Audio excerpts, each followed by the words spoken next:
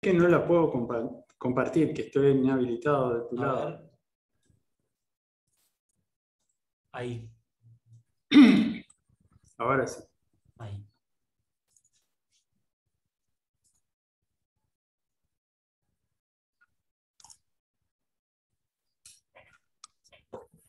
Bueno.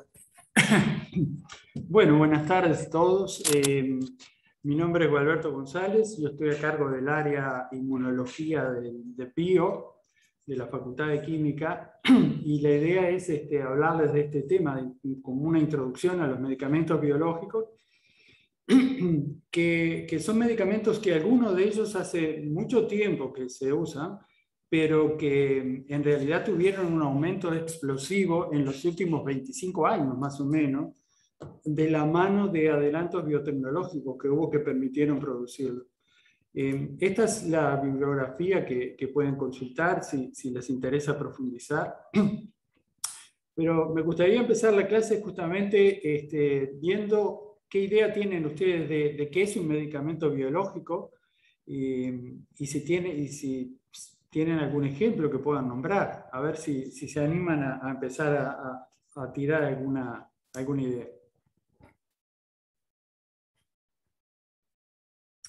Por ejemplo, ¿les parece que el ibuprofeno es un medicamento biológico?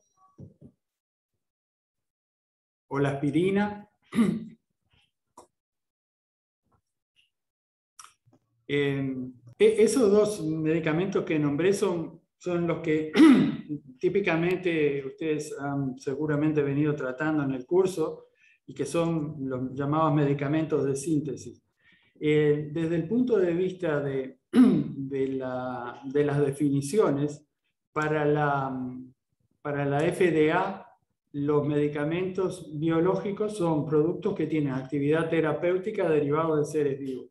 Y el Ministerio de Salud Pública acá tiene una definición muy parecida que dice que el principio activo es obtenido a partir de seres vivos. Pero vamos a ver ejemplos como para tener algo más, más concreto. Eh, voy a sacar esta ventanita. Por ejemplo, la sangre y concentrado de plaqueta o otros derivados de plasma son considerados medicamentos biológicos, igual que las células eh, somáticas que son utilizadas en trasplantes de médula, por ejemplo, que sería esto que vemos acá. Eh, los trasplantes, los órganos eh, caen bajo el rótulo de medicamentos biológicos. Luego hay un grupo de, medicamentos biológicos que son mucho más definidos, que son eh, anticuerpos o son ácidos nucleicos o péptidos. También se denominan medicamentos eh, biológicos a, los vectores virales que permiten modificar este, células in vivo para, en caso de deficiencia de alguno de, los genes. Eh, también la, terapia celular, donde hay células que se traen de los pacientes, se modifican y se vuelven a inyectar, eso también es considerado un medicamento biológico. Las vacunas también. todos comparten el tema de que, comparado con las moléculas de síntesis, tienen un grado de complejidad bastante mayor. Y, aunque sean moléculas concretas, como por ejemplo cuando veíamos acá el anticuerpo, eh, estamos también hablando de moléculas que pueden tener entre sí, para la misma preparación, una, lo que llamamos microheterogeneidad, o sea, no son totalmente homogéneos. En particular, dentro de este eh, enorme grupo, los que más nos van a interesar en la clase son los que a veces llamamos como biofármacos, que el ministerio de acá llama medicamentos biotecnológicos, que sería más bien lo que es este grupo, o sea, las biomoléculas más definidas, no estas mezclas, otras alternativas de mezclas complejas. Bueno, acá, acá les muestro una gráfica de eh, los medicamentos que, que, facturan más, o sea, que, que, se venden más en términos de, cantidad de, dólares. ¿no? Esto que ven acá, este, el que se vende más, que se Lumira, se venden 20 mil millones de dólares por año. ¿no? Y, y, como ven, bueno, hay otros que, que le andan ahí cerca. Los que tienen esta S acá son medicamentos de síntesis, o sea, son generalmente moléculas pequeñas. Los que tienen una B son de estos medicamentos biológicos, que los que están acá eh, son prácticamente porque son los más costosos, los anticuerpos terapéuticos. Y hay una variante que, son algunos de los que están acá, que son una parte del anticuerpo terapéutico fusionado a receptores celulares que, por ejemplo, se unen a, una molécula que uno quiere este, neutralizar. Esto para que tengan una idea y para dejar el concepto de que muchos de los medicamentos biológicos que ustedes capaz que oyen en las noticias, que son los que da el fondo de recursos, son realmente caros, ¿no? de tratamientos que al año para un paciente están de entre los 20 mil, 80 mil y hasta 100 mil dólares y algunos más. Eh, bueno, y lo cual es un desafío para los sistemas de salud. En términos de aprobaciones por la FDA, y acá le muestro lo que pasa en el año, eh, lo que pasó en el 2019, que es representativo, este, el 75% de los medicamentos aprobados eran medicamentos de síntesis y el resto fueron los que podían ser este, estos biofármacos, donde están muchos de ellos, siete eran anticuerpos monoclonales, eh, algunos la molécula como tal y otros fue conjugados, ya sea radionucleicos o, toxinas. Hay muchas moléculas que a veces se le eh, conjugan porque el anticuerpo tiene la capacidad de dirigir la acción de estas eh, moléculas que se le conjugaron a determinados blancos. Y así pueden, por ejemplo, usarse productos mucho más tóxicos para tratar tumores. Luego también hay, en este año se aprobaron un par de, oligonucleótidos, que, lo, que en general son los que se utilizan para, para bloquear la, la, expresión de una determinada proteína que está involucrada en un proceso patológico. Em, bueno, eh, e, esto como les decía, el, más o menos entre el 20 y 30% de los medicamentos que aprueba la FDA, por ejemplo, y con la EMA pasa parecido, son este tipo de medicamentos. ¿Cómo es históricamente? Y, acá es lo que yo les decía al principio. Hubo eh, algunos de ellos que se, que se este, empezaron a usar hace mucho tiempo, como por ejemplo este primero que vamos a considerar acá, que es justamente, eh, estuvo asociado al descubrimiento de los anticuerpos como tales. Y eso se lo debemos saber en Itasato, que estaban trabajando con un modelo de eh, desafío de, ratones con el Clostridium tetani que causa el tétanos. Y ellos tenían un modelo ajustado para que, bueno, si, si desafiaban el ratón, todos los ratones se morían. Luego vieron que tratando eh, con preparaciones tratadas de esta bacteria, si se inyectaban a los ratones, los ratones resistían este, este desafío. Pero lo más interesante que hicieron fue que tomaron suero de estos ratones y se los transfirieron a ratones que no, no habían sido tratados, o sea, iguales a estos, pero que habían recibido suero que provenía de estos y al desafiarlo, este, desafiar a estos ratones sobrevivían. ¿Qué era lo importante acá? Bueno, había algo en el suero que ellos no sabían qué era, que este, proveía esa protección.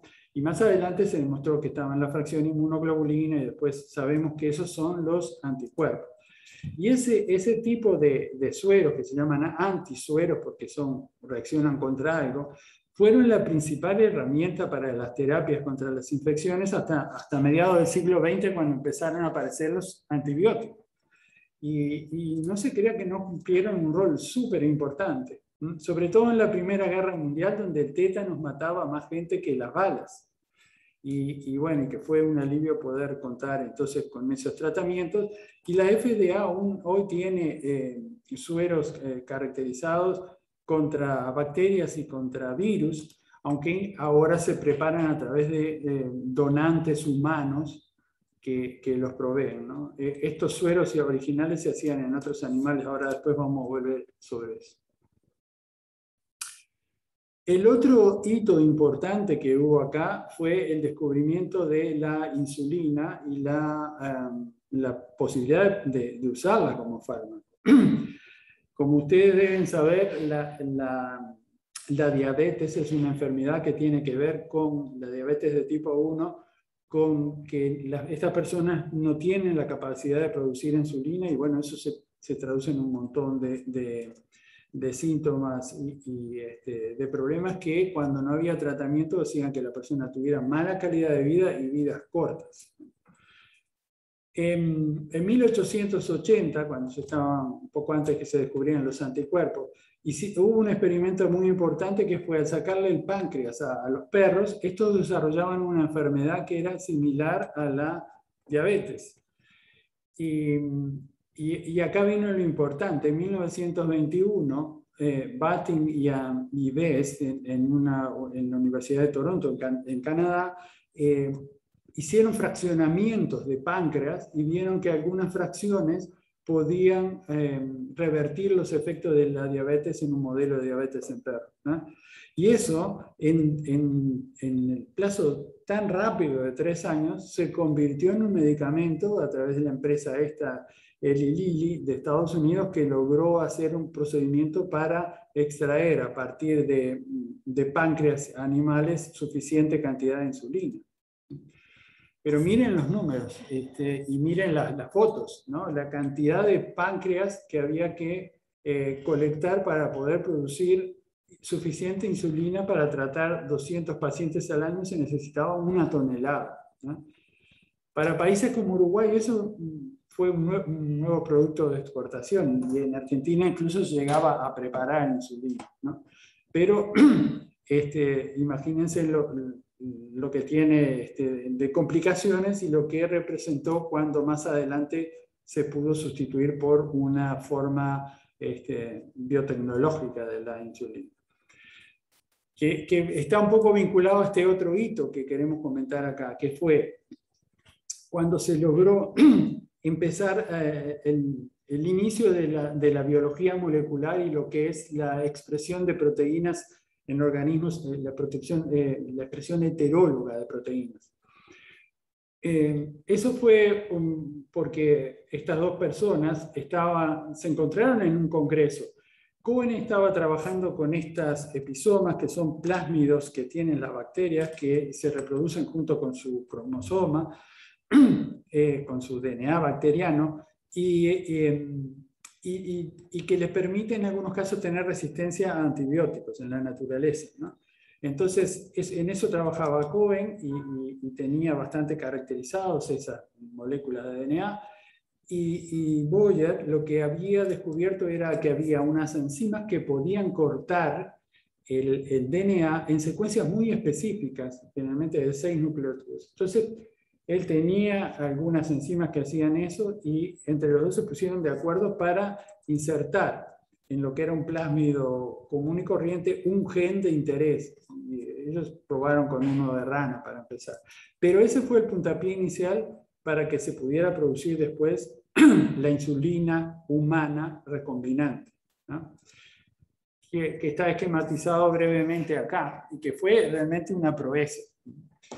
Porque este, lo, que la, insulina humana está compuesta de dos péptidos, uno de 30, eh, de 30 aminoácidos y otro de 21.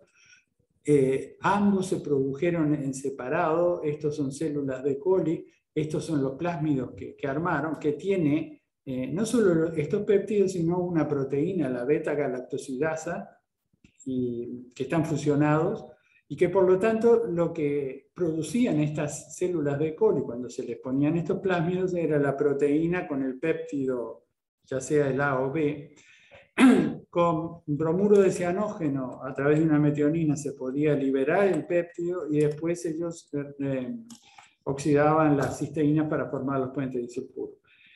Eso que se cuenta rápido es sumamente complejo de hacer, sobre todo con las herramientas que se disponían en ese momento eh, eso lo logró hacer una compañía que era una startup de solamente dos empleados cuando empezó el proyecto, que en realidad le ganó a otras compañías mucho más grandes, y, fue tan exitoso el, el, logro que este, hizo que Genentech multiplicara su valor enormemente. Bueno, y hoy Genentech es una de las compañías más grandes de biotecnología, con 15.000 empleados y que produce un montón de estas eh, biofármacos. El otro hito importante fue en 1996, cuando se logró eh, humanizar, por lo menos parcialmente, eh, los anticuerpos. Y en particular había habido un hallazgo antes que ahora se lo voy a comentar, que es fue el invento de, de un argentino, de un alemán, eh, para hacer anticuerpos monoclonales. Ahora vamos a explicar un poquito qué es eso. Pero este fue un hito. esto permitió que no fue el primero, pero que a los pocos meses se registrara este eh, anticuerpo monoclonal, que es el rituximab, que cambió eh, la, evolución de muchos tumores y que es un medicamento que es considerado esencial ahora por la Organización Mundial de la Salud. Luego, en el 2002, hubo otro hito importante que fue hacer toda la molécula del anticuerpo eh, humana, que quiere decir que, que, que, es, provienen, todos sus aminoácidos se parecen a los que hay en los humanos. Y, y de ahí salió otro anticuerpo eh, súper importante que reacciona contra esta ah, citoquina, el TNF-alfa, que es una molécula muy inflamatoria que hay en enfermedades autoinmunes. Acá, acá debería decir, en lugar de terapia antitumoral, eh, terapia antiinmune. Eh, después lo voy a corregir en el PDF. Bueno, pero eh, esos dos anticuerpos fueron como. Hace poco, en mayo del 2021, la FDA aprobó el, el número 100 de, de, anticuerpos monoclonales terapéuticos que van ya no solo desde el cáncer y la autoinmunidad, sino muchos otros mecanismos, muchas otras patologías.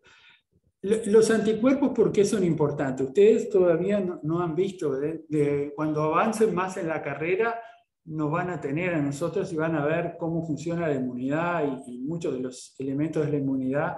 Y ahí van a ver que los anticuerpos son uno de los elementos claves. Eh, la, característica principal es que los anticuerpos pueden unir específicamente moléculas que llamamos antígenos y eso eh, se traduce en funciones que permiten al sistema inmune eh, combatir las infecciones. Entonces acá tenemos, por ejemplo, uno de los mecanismos que es neutralizar. Acá vemos una partícula viral, imagínense una de SARS-CoV-2, eh, y que tenemos anticuerpos contra las proteínas de la superficie. Bueno, y esto, esto hace que estos anticuerpos que serían neutralizantes hacen que el virus no pueda unirse a sus receptores y no pueda ingresar en la célula. Esa es una de las formas de protección. Pero también sirve que los anticuerpos se unan, por ejemplo, a una bacteria, y cuando hay muchos anticuerpos sobre la bacteria, en nuestras células, esto sería una célula propia que tiene receptores para esta parte de los anticuerpos, eh, le permite fagocitar, comerse a esa célula en una forma mucho más eficiente de lo que esta célula lo hace cuando no está mediado por anticuerpos. Otras funciones de los anticuerpos es em, reclutar un componente de una cascada de proteínas que, que tenemos en, en, el plasma, que, es el complejo del complemento, que cuando se activa esa cascada da lugar a, genera un complejo de proteínas que hace agujeros en las bacterias por todos lados de la bacteria y eso las elimina por lisis osmótica.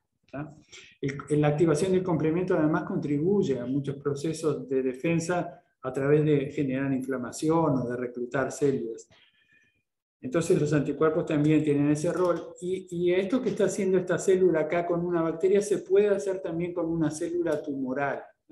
También si hay un anticuerpo que es una célula tumoral, tenemos células que pueden reconocer que hay anticuerpos pegados y destruir.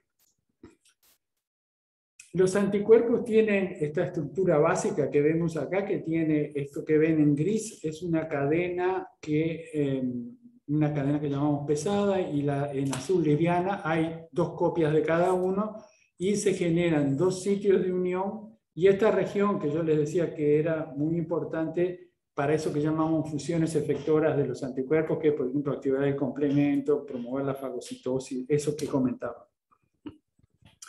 Entonces la molécula de anticuerpo tiene una región que le permite unir el antígeno, y eso es muy importante que esa unión es de altísima especificidad, lo puede distinguir, puede distinguir una molécula de un universo enorme de moléculas, que luego está esta región que tiene esas funciones efectoras que mencionamos, pero que tiene otra función, que es la que tiene que ver con esto. Acá hay una región que le permite interactuar con un receptor eh, en el, que, está, no vamos a entrar en los detalles, pero que, interviene en el proceso de rescatar proteínas de la, eh, de la degradación.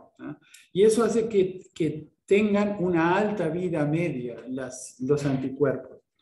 Eh, una vida media que es de, de hasta un mes comparado con lo que sería si no tuviera esta región en donde, los, donde el catabolismo, digamos, haría que desaparecieran en, en, horas o capaz que en unos pocos días. Pero eso desde el punto de vista de usarlo como fármaco tiene esa enorme ventaja. En muchos de estos anticuerpos se aplican como una dosis que se da el día cero y que de repente a las dos o tres semanas requiere una nueva inyección pero no hay que estar todos los días inyectando como pasa con otras moléculas, como con la insulina, por ejemplo. Muy bien. No sé si este, yo intenté hacerles algunas preguntas al principio, pero estaban un poco tímidos. Pero si tienen alguna pregunta, eh, hacen la voz nomás y yo paro y tratamos de verla. ¿Hasta acá cómo van? ¿Va más o menos siguiendo? Eh, sí, sí, se entiende. Sí, sí, vamos bien. Van bien, bárbaro. Bueno, está, e, esa es una de las características de los anticuerpos. Ahora voy a tratar de explicarles por qué fue muy importante los desarrollos biotecnológicos que permitieron hacer anticuerpos terapéuticos eh, monoclonales. Si nosotros, eh, al principio se funcionaba así, o sea, había especies animales que se inmunizaban la sangre se coagulaba y esto que ven acá, esto que ven acá es el suero, este es el coágulo, y en el suero estaba esta mezcla compleja, donde hay un montón de cosas que son anticuerpos. No entramos en detalle, pero hay distintas clases de anticuerpos, por eso ustedes ven este, por ejemplo, tiene cinco moléculas de esta. Pero dejemos esos detalles y el resto son todo un montón de proteínas de estos animales. Entonces, inyectar eso en un ser humano es complicado. Eh, de todas formas, no estaba tan lejos de esto, porque lo que se hacía era precipitar con sulfato de amonio, la mayoría de las proteínas precipitan y quedan, se rescatan la, ah, eh, perdón, es al revés, las inmunoglobulinas, los anticuerpos precipitan y, la, la, mayoría de las proteínas quedan en solución. Y eso se, redisuelto al eliminar el sulfato de amonio era lo que se usaba como los llamados antisueros, que se preparaban en caballos acá, como ven esta foto, o en otros animales muy grandes porque así rendían mucho. Em, en el instituto en el que estoy yo, que es el Instituto de Higiene, eh, hasta hace unos 30 años o algo así se seguían haciendo estos sueros que ven acá y que se usaban en la población. Pero los requerimientos ahora han cambiado. Eh, el hecho de que fuera, que fuera una, una, preparación tan sucia, entre comillas, hacía que solo se pudieran usar en situaciones de emergencia. Por ejemplo, si una persona tenía gran riesgo de tener tétanos, estaba bueno inyectarle estas preparaciones que podían bloquear la toxina pero no permitían hacer una terapia este, sostenida. Por eso es que fue importante, em, voy a pasar esto rápido, la, el, hallazgo que hicieron estos, estas dos personas, Nielsen era un argentino que se fue a Inglaterra y Keller era un PhD que estaba trabajando con él. Y lo que ellos hicieron fue, este, inmunizaban ratones y las células productoras de anticuerpos de los ratones que se sacan del vaso de los ratones, se combinaban con una línea celular que ellos desarrollaron que tenía un requisito metabólico por el cual requerían condiciones especiales para crecer. El asunto es que las trataban con polietilenglicol, eso permitía que las células mecánicamente se pudieran fusionar y, de, ese, este, de esas estructuras donde había cromosomas que se pulsaban, etcétera, se generaban lo que se llaman hibridomas, que son estas, las células que estarían acá. Las células que no se fusionaban del ratón tienen corta vida. Estas células son inmortales, pero tienen un requisito metabólico que el medio que se pone acá no lo incluye. Y estas células fusionadas tienen, adquieren las dos características. La posibilidad de, producir anticuerpos, que, provee, que viene de acá, más la, posibilidad de, crecer en este medio, y estas células proveen la inmortalidad. Entonces estas células secretan anticuerpos, eh, crecen en el medio de selección y son inmortales, o sea, se puede establecer una línea celular que después permite producir el anticuerpo en forma indefinida y siempre igual y una única especificidad. Entonces, cada, porque cada una de las células del ratón produce un único tipo de anticuerpo. Esta produce contra, contra tal proteína, esta contra tal otra, etc. Bueno, de esa forma entonces se tenía anticuerpos con la especificidad que uno quería eh, y que se podía reproducir para siempre. Y eso fue considerado como una bala mágica que iba a permitir tratar todo tipo de enfermedad. Pero este, a pesar de esto que les estoy contando y de esa expectativa, en realidad esto no dio lugar a casi ninguna aplicación terapéutica. ¿Por qué les parece que puede haber, mm, que, cuál les parece que puede ser el problema? de utilizar un anticuerpo de ratón como eh, para inyectarlos en humanos y tratar enfermedades. Que tienen un ADN muy diferente, puede ser. ¿Que tienen? Un ADN muy diferente. Eh, sí, pero, pero el anticuerpo acá ya, el, ADN acá ya no estaba más, ¿no? Ah, claro.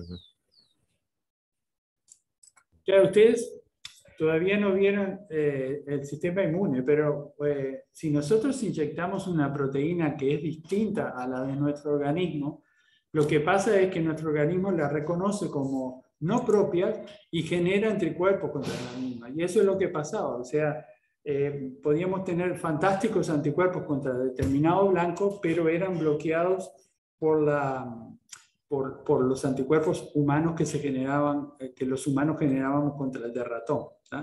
Entonces, eso después se superó parcialmente cuando se logró hacer eh, moléculas híbridas que se producían eh, por tecnología recombinante, donde esta parte era humana y este era un, par de dominios que se, se injertaban del ratón en el, en el DNA para que produjese esa proteína.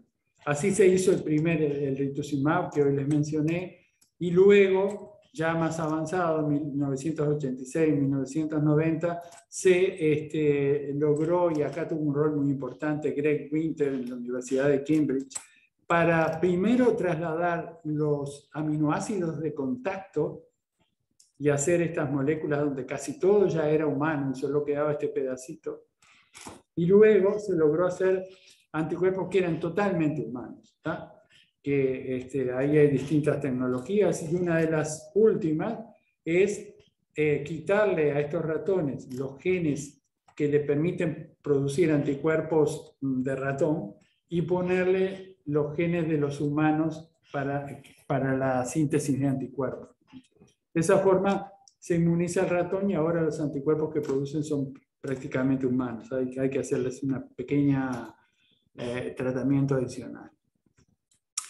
Ahora les voy a contar, dado que los anticuerpos son como dentro de los biofármacos, este, los, de más reciente irrupción y, los que han permitido más versatilidad, algunas de las funciones que tienen.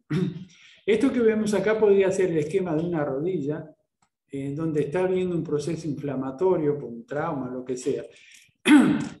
Y esta molécula que ven acá, que, es el TNF-alfa, es un regulador de la inmunidad que promueve inflamación y que, em, que tiene que ver cuando hay, con, procesos de, de, recuperación de los tejidos cuando hay inflamación. Pero cuando el tejido es sano, como puede ser en el caso de un golpe, donde en realidad no hay bacterias, esta inflamación es contraproducente y, conduce a la destrucción en realidad del cartílago y del hueso. Eso se da cuando se generan anticuerpos propios contra componentes del hueso que promueven este proceso. El daño lo termina causando esta molécula, ¿no? el, el TNF-alfa. Bueno, si, como por ejemplo ese anticuerpo que veíamos, el Humira, que es el más vendido en el mundo, lo que hace, que se llama adalimumab, la molécula, lo que hace es bloquear esta citoquina y eso hace que la inflamación se corte y el daño celular se corte. Eh, y eso acá ven que ha tenido aplicaciones en un montón de, enfermedades autoinmunes, no solo tipo artríticas, sino eh, de enfermedades de la piel como la psoriasis o del intestino como esta que están acá o de los otra aplicación muy importante ha sido en tumores. Los tumores generalmente tienen algunos marcadores por sobreexpresión, como puede ser esto que está en anaranjado acá. Y cuando tienen esto, si nosotros tenemos, estos serían los anticuerpos terapéuticos, si se une, puede reclutar a estas células, que se llaman células natural killer, que tienen receptores para esta región del anticuerpo, y si se unen eh, en determinadas condiciones, pueden estas células eliminar a las tumorales. Lo mismo pueden estos anticuerpos activar el complemento y hacer que esta célula muera por lisis. Hay otras versiones de anticuerpos que son biespecíficos, donde se arman anticuerpos que tienen una patita que reconoce este, esta molécula sobreexpresada por el tumor y otra que se une a estas células. Estas son las, los linfocitos T o células T que saben destruir los tumores, pero a veces no lo saben reconocer. Entonces, de esta forma se pueden conectar. Hay otra forma de terapia antitumoral que ha tenido un éxito espectacular y que es más reciente, esta de hace unos 5 años, 7, 10 años a esta altura, este, donde eh, las células T, que como les decía, pueden destruir esta célula tumoral a través de esta conexión, un reconocimiento no vamos a ver los detalles, pero los tumores expresan estas moléculas que serían en verde que regulan negativo a través de este otro receptor. Este es el eje PDL1 en el tumor PD1. Entonces, anticuerpos que puedan bloquear o esta o esta molécula tienen un efecto antitumoral importante porque la célula T desata su poder y puede destruir al tumor. Y después otro ejemplo que, les quiero dar es el de la alergia. La alergia está mediada por, anticuerpos propios que generamos contra lo que se llaman alergenos, que son el polen de las flores o, proteasa de los ácaros que están en las alfombras, el polvo. Esa IgE hace una mala función porque se une a estas células, a los mastocitos, y eh, si está el alergeno y las entrecruza, disparan la, liberación de histamina, que es lo que causa todos estos síntomas de la alergia. Entonces, si tenemos un anticuerpo monoclonal, como este es uno que existe, el omalizumab, bloquea la, la, IgE, no le permite unirse por acá y entonces eh, se usa en casos extremos de alergia. Esa es una panorámica de cómo funcionan estos, eh, los anticuerpos como drogas. Eh, ahora voy a, pasar a discutir un poco las características de las diferencias grandes que hay entre las macromoléculas y, las moléculas pequeñas. Acá ven todo un escalado desde esto que es una molécula de síntesis bien simple con 21 átomos hasta una bestia como el anticuerpo con 25.000 átomos. Y eso, tiene, eh, eso hace que en, en el proceso de aquí en adelante aumente la complejidad para producirlas, porque se requiere este, bueno, sistemas biológicos para producirlos, la forma de producción entonces es distinta. La purificación es generalmente más compleja porque estas moléculas mm, son más lábiles que estas otras y por lo tanto las purificaciones tienen que ser también más, este, menos agresivas, no se pueden usar solventes orgánicos, nada de eso. Hay que cuidar el tema de la inmunofilicidad, aunque sea la molécula sea toda humana, puede haber en el proceso de producción algunas modificaciones que, que le permitan ser inmunogénicas. Las vías de administración son distintas porque estos son proteínas que son digeridas en el tracto digestivo, que requieren la vía parenteral de administración y la, la forma de registro eh, de, es también diferente para estas moléculas. Para ver la, diferencia de complejidad, por ejemplo, si tenemos la cafeína, donde pasar de este grupo metilo a, este protón nos cambia un estimulante del sistema nervioso a un broncodilatador. En cambio, en una molécula como la insulina, que tiene este, dos cadenas con 21 y con 30 aminoácidos, tolera algunos cambios y sigue teniendo la misma función. Por ejemplo, la, la insulina humana tiene en esta posición una treonina y, esta, y la bovina tiene eh, alanina. Ese es un, un cambio, comparado con este, es un cambio bastante importante y además ocurre en dos posiciones. Y además tiene un cambio de isoleucina a valina, donde también hay un cambio acá importante. Pero sin embargo, a pesar de esos cambios, mantiene la función. Este es un ejemplo donde la función se mantiene, pero los pequeños eh, los cambios en moléculas tan complejas hace que a veces este, la propia definición de qué tan igual es una molécula a la otra sea difícil. Entonces, por ejemplo, si tenemos el caso de los eh, fármacos pequeños, ¿no? Eh, la aspirina A eh, fabricada por el fabricante A y la aspirina fabricada por el fabricante B, una vez que se cumplen ciertas condiciones de pureza y de control de, la estructura, de contaminantes, etc., se puede considerar que son eh, bioequivalentes, que son equivalentes, y que estas moléculas eh, esta se puede denominar una versión genérica de la, de la aspirina que hizo el, fabricante original, ¿no? de, la molécula original. Una vez eh, que, cumplen ciertas condiciones de pureza, pueden considerarse como eh, productos que podrían ser intercambiables. Pero, ¿qué les parece con las proteínas? ¿Será tan fácil esto así de que no importa qué proteína es esta, pero que el GMSSF fabricado por A sea el mismo que B. ¿Qué, diferencias puede haber entre estas dos proteínas? A ver si, se les ocurre algo de lo que saben de proteínas.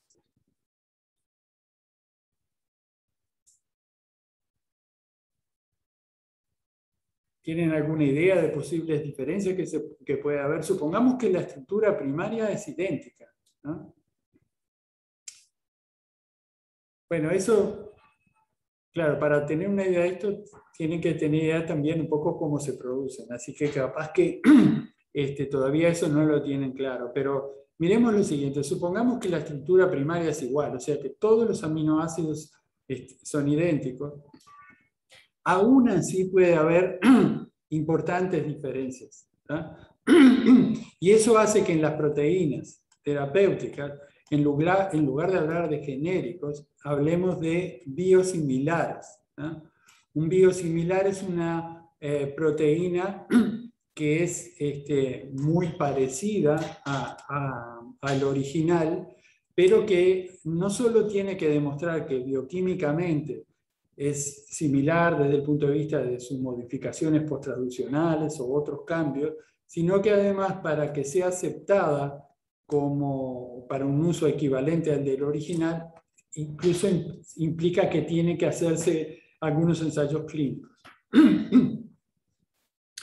Bueno, y las razones son distintas eh, modificaciones que pueden dar lugar a microheterogenicidad, entre las cuales la más importante es la glicosilación, pero puede haber estas otras que ven acá. Hay oxidación de algunos residuos, estos que ven acá, por ejemplo la cisteína, este azufre se oxida ganando uno o dos oxígenos, hay deamidación de los aminoácidos que son amidas, hay asilación de los aminos primarios en la proteína y además puede haber fragmentación, los puentes disulfuros se pueden formar mal, a veces hay problemas de plegamiento. Eso hace que se generen un montón de interrogantes sobre qué tan iguales son dos moléculas.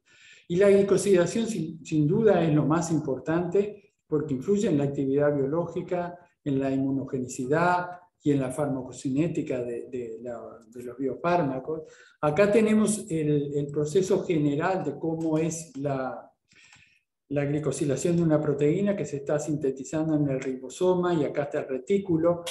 Hay una producción eh, original del, de la modificación glucídica que está anclada a través de un lípido acá y hay unas enzimas que la transfieren a la proteína naciente. Esto ayuda al plegamiento de la proteína y al control de calidad.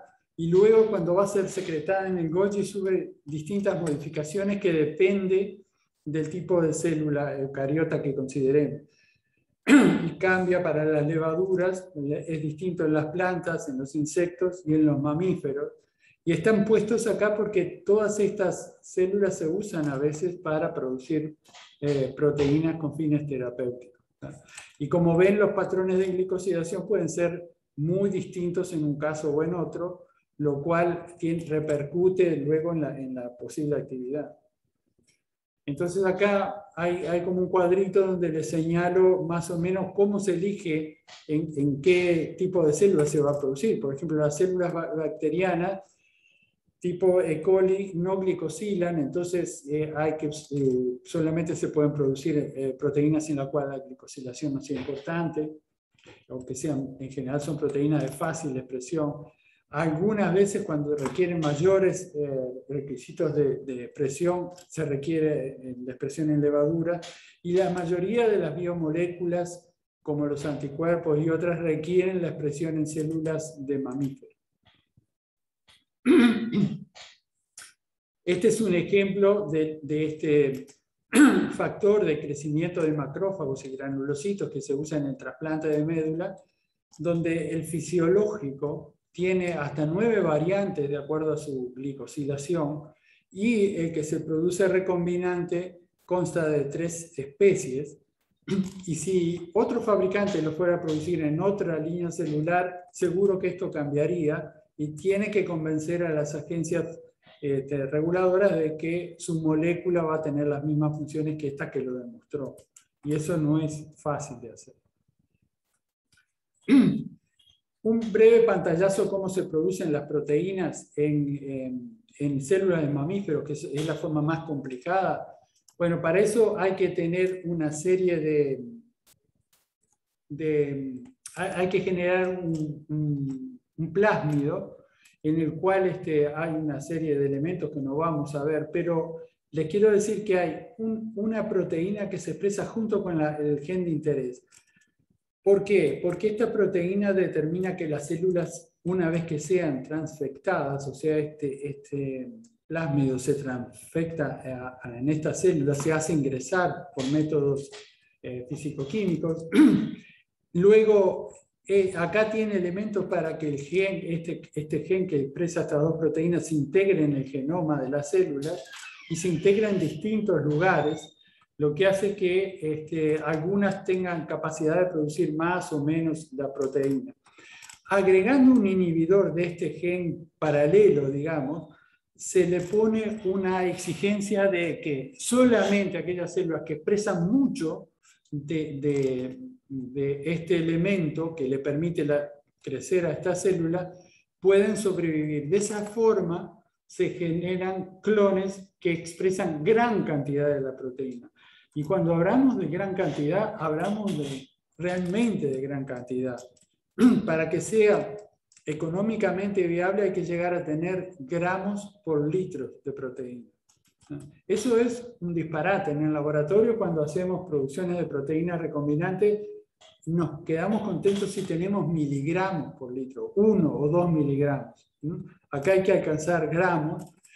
Y, y, bueno, y la forma de producir es, como estos clones son difíciles de generar, una vez que se genera un clon se hace un banco de células y cada vez que se va a hacer una producción se toma un vial, se expande gradualmente hasta que puede llegar a a cultivarse en, estos enormes fermentadores de hasta 25.000 litros en algunos casos. Que fíjense, esta es una planta de Genentech que tiene varios de estos de 25.000 litros. De cada uno de esos salen 40 kilos de proteína pura después. Y la purificación es en sí mismo un proceso muy complicado que lo ven acá como, como está descrito. Tiene muchas etapas de purificación, de eliminación de virus, de eliminación de contaminantes proteicos de las células que estaban acá, porque eso si no genera este, respuesta de anticuerpos. nuevas etapas de eliminación de virus y después el empacado hasta tener el producto final. Ya terminando, les muestro esta, esta gráfica que es media vieja, que yo creo que tiene como 10 años o más. Esto todo debe haber cambiado en cantidad, pero no sirve porque no, no encontré una más actualizada. Que, que, lo que tiene acá es el costo por kilo de cada una de estas proteínas. ¿ah? Y de, cada uno de estos biofármacos. Y acá hay este, factores de coagulación hematopoyéticos, son los que están por acá, porque estos no se usan tan masivamente. Después hay interferones y citoquinas, también están por esta zona. Eh, los interferones y citoquinas son reguladores de la inmunidad. Hay enzimas de reemplazo, hay personas que carecen de una enzima, entonces se le da la enzima como medicamento. Eh, hay hormonas por ejemplo, la insulina, ya la vimos, o la eh, eh, estimulante de folículos para aumentar las posibilidades de, embarazo, o la hormona de crecimiento humano, ¿eh? la que le dieron a Messi para que después fuese terrible jugador. y bueno, y después están los anticuerpos. Sí, los anticuerpos son justo este grupo que, como ven, si nos vemos a la producción anual, se producen en enormes cantidades. Esto debe haber cambiado porque, como les digo, tiene 10 años atrás, pero en ese momento el rituximab se producía una tonelada de proteína ultra pura por año. Para, para, una molécula de síntesis esto no impresiona, pero para una molécula súper pura esto es una, implica un esfuerzo descomunal. Otras proteínas se producen en menor escala, pero son más caras por, por gramo o por kilo. Bueno, creo que eso es más o menos todo. Acá, eh, capaz que como mensaje final, repetir algunas de las cosas que vimos. Eh, una de ellas es eh, la definición, o sea, los medicamentos biológicos son preparados complejos comparados a las moléculas pequeñas, y aunque sean estas proteínas este, más definidas, lo que llamamos biofármacos, también este, tenemos diferencias. ¿no? Hay distintos eh, eh, sistemas de expresión para la producción de los biofármacos y dependiendo del proceso de producción, estos van a tener características propias, lo cual, eh, ya mencionamos la glicosilación o otra, lo cual hace que hablemos de biosimilares, o sea, por ejemplo, la eritropoyetina que produce este fabricante y la que produce este otro hay que demostrar que son similares. El que lo produjo la primera vez lo demostró para poder registrar, pero el que produce este tiene que hacer muchas cosas de caracterización bioquímica y además ensayos clínicos. Muchos menos que el original, pero algunos. Bueno, por su naturaleza, los biofármacos recombinantes son más lábiles por ser proteínas y requieren la vía parenteral. Por su actividad biológica hay distintos grados, por ejemplo, muchas son eh, proteínas de reemplazo, cuando hay una carencia, el caso de las hormonas encima, son reguladores de la inmunidad, las citoquinas recombinantes, o de la hematopoiesis para cuando hay una quimioterapia, reponer neutrófilos este, o estimuladores del leucocito. Y después, como vimos, hay un grupo muy grande de, de biofármacos que son los anticuerpos terapéuticos que dado que pueden eh, tener un blanco muy específico, ¿eh? que, al cual se unen con alta afinidad y que, eso da una alta versatilidad para dirigir la acción, este, han realmente revolucionado los campos, sobre todo de la terapia antitumoral y de las enfermedades autoinmunes.